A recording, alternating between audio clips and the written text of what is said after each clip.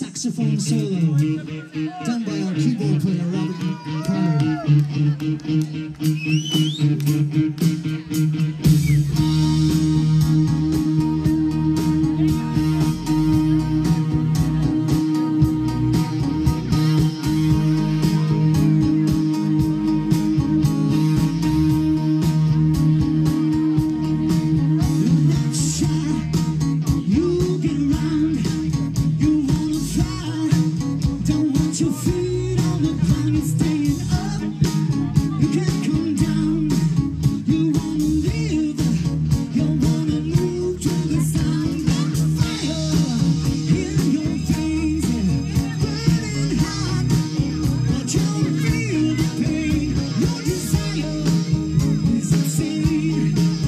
you